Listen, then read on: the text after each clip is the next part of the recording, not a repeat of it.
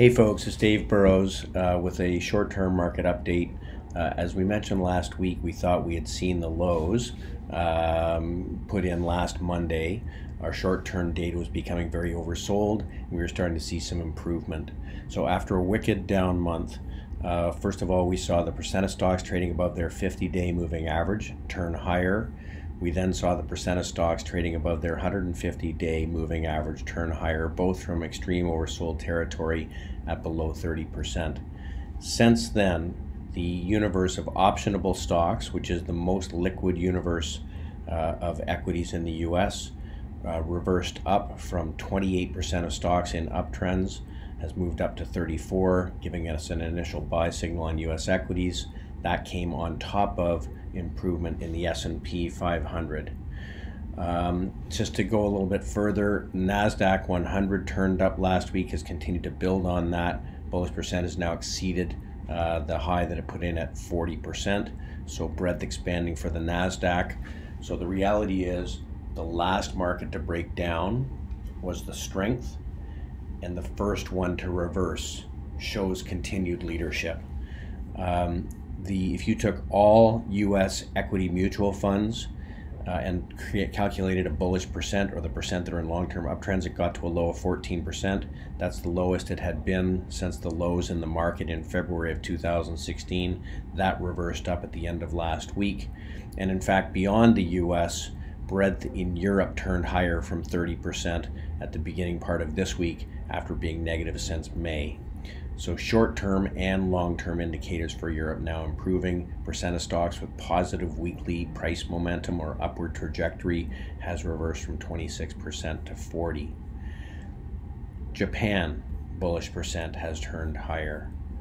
I talked last week about Shanghai being as sold out as it's been uh, in the last number of years. In fact, breadth got as low as the US stock market did at the end of the US financial crisis. It hit 8% reversed last week and turned higher.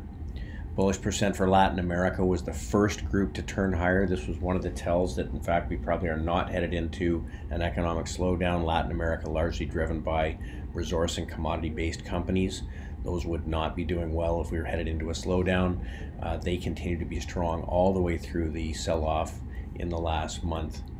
And on the other hand, uh, bullish percent or breadth for fixed income, which started weakening early in the year, has continued that course and sitting now at 60%. So 58% of 58% of fixed income securities are in downtrends and uh, and or sorry in uptrends. Uh, that number is deteriorating, meaning breadth for fixed income is weakening. Money is leaving that group. Other key tells: copper continues to put in lower highs uh, working its way higher, very economically sensitive.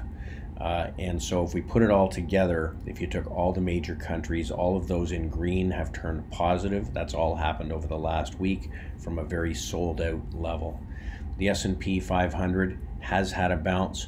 The one thing I would say is there was a gap left on the chart uh, four days ago when the market gapped higher. Very possible that the market could pull back and fill that gap over the next couple of days. That is absolutely not a given, uh, but very possible. I think it's also important that many of the ETFs we own in our macro strategy, as well as the major market indices in the US, held the higher low from March. So we saw low in February, a rally attempt, we held a higher low in March and virtually all of the various parts of the market that we're invested in have held above that low uh, and uh, now turning higher.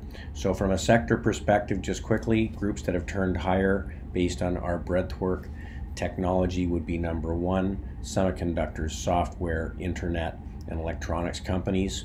Again, the last group to break down was the first to reverse up. Joining technology has been consumer discretionary, obviously economically sensitive and tied to the US domestic consumer. That's apparel, that's fashion, restaurants, and home builders. In healthcare, the group that held up the best through the decline, biotech, pharma, healthcare service providers, and device makers or technology healthcare device companies have turned higher. And in the industrial space, aerospace and defense, machinery, autos, all have turned higher. And in finance, we've seen initial improvement in insurance. We're beginning to see improvement also in regional banks. Look, we are headed into the seasonally strongest period of the year. If you took every year from 1950 through 2018 and plotted what happened between October 31st and the end of April, cumulatively a $10,000 turned into just over a million.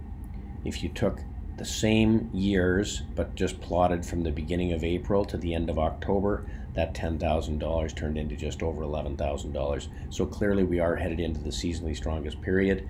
Tomorrow is the election. We know the history on midterm election years is that in the 12 months following the election, since 1946, every midterm election year was positive for an average of 14%. So, uh, all in all, things continue to improve. Not to say there can't be a few more bumpy days, but my guess is we've seen the lows uh, and now the seasonality kicks in. Thanks so much for tuning in. Please don't hesitate to call us with questions.